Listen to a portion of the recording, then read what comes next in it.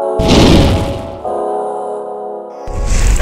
Revival, balik lagi sama aku Janet Vel di Revival TV West Hat. Nah, nggak terasa nih, The International bakal memasuki tahun ke-9-nya dalam waktu kurang satu bulan lagi. Dan sejak Battle Pass tahun 2019 diluncurkan, hingga sekarang telah terkumpul prize pool sebesar 30 juta US dollar untuk turnamen kelas internasional ini. Salah satu faktor terpenting yang berperan dalam pengumpulan dana sebesar ini adalah kemampuan Valve dan komunitas Dota 2 untuk membuat item yang sangat cantik dan kental dengan tema tahun ini yaitu hutan dan runtuhan magis. Nah, di episode Wise Heart kali ini, Revival TV bakal sharing ke kalian 6 item collector cash yang wah banget dan tanpa basa-basi, yuk kita cek aja.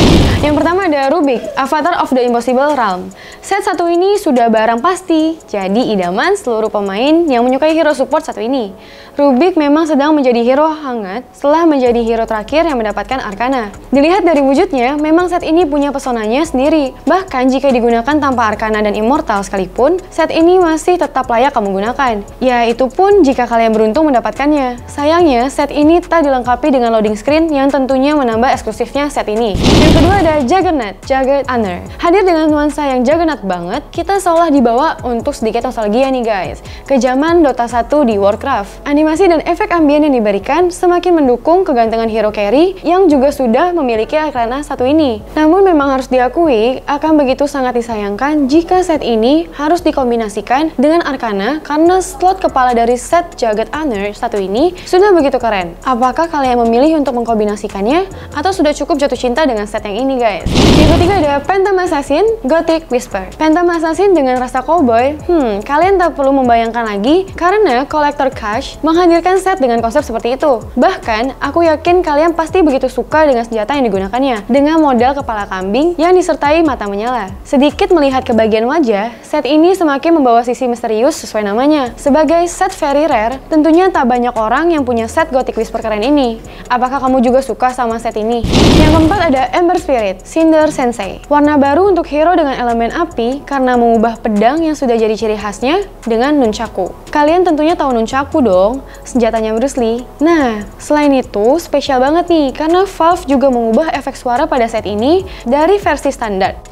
Mengingat tak mungkin jika suara pedangnya digunakan juga pada set versi nunchaku ini bukan? Selain itu, di Immortal Tracer 2, Ember Spirit juga kebetulan mendapatkan Immortal, yaitu Apogee of the Guardian Flame. Lantas, siapa di sini yang lebih memilih menggunakan set dengan senjata nunchaku daripada pedang seperti biasa? Yang kelima ada Disruptor, Defender of Ruin. Disruptor memang sudah memiliki banyak set yang cukup keren, tapi set Defender of Ruin ini punya daya tariknya tersendiri. Apalagi saat melihat hewan yang ditunggangi oleh Disruptor begitu matching dengan set yang biasa kita miliki dari Collector Cash One. Tak hanya itu saja, Immortal yang sudah dimiliki oleh Disruptor sebelumnya juga masih cocok loh digunakan untuk semakin menaikkan kelas dari set satu ini. Apakah kalian merupakan salah satu orang yang memiliki set keren satu ini? Yang keenam ada Necrophos, Fall Omen.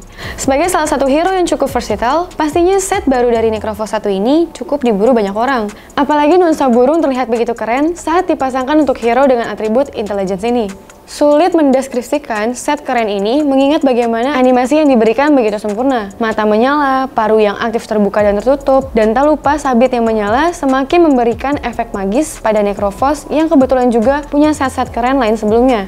Nah yang tadi itu 6 item collector cash untuk The International 9. Nah, gimana nih menurut kalian? Item mana yang kalian suka? Atau ada item lain yang menurut kalian harusnya masuk di daftar yang tadi? Aku tunggu di kalian di kolom komentar. Jangan lupa buat subscribe, subscribe, dan like. Aku Janet Vel dan kru Revival TV pamit undur diri. Sampai ketemu di episode selanjutnya. Bye-bye. Have a nice day.